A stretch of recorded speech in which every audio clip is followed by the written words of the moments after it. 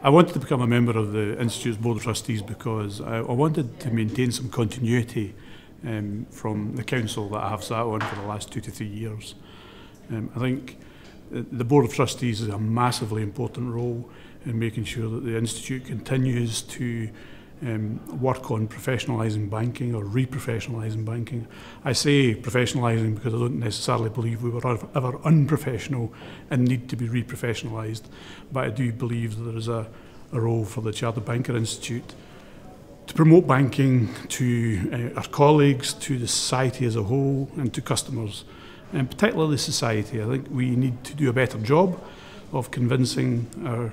the wider society out there that bankers are professional, they have integrity and they do a really good job.